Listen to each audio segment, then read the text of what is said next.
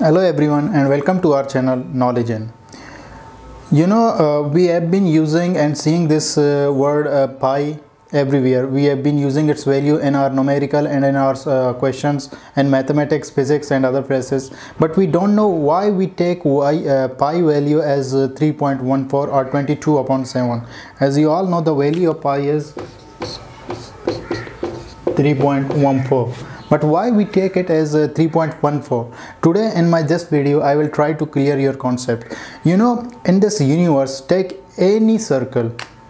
Let's suppose take a circle and it's uh, diameter as you all know and the diameter is repre uh, represented by 2r and it's called the circumference of circle which is equal to 2 pi r. You know uh, it has been noted uh, that uh, take any any circle uh, let's suppose uh, take this sun take a small circle or take anything. When we divide the circumference of a circle 2 pi r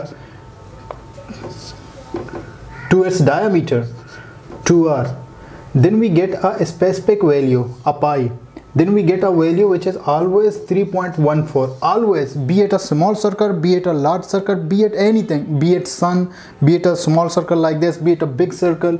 The value the result uh, when we divide uh, the circumference of that circle to its diameter then we get a very then we get a value which is 3.14 this value is always constant. We always get this this value 3.14 so they have decided the mathematician everyone decided to take this uh, value and they named it as phi.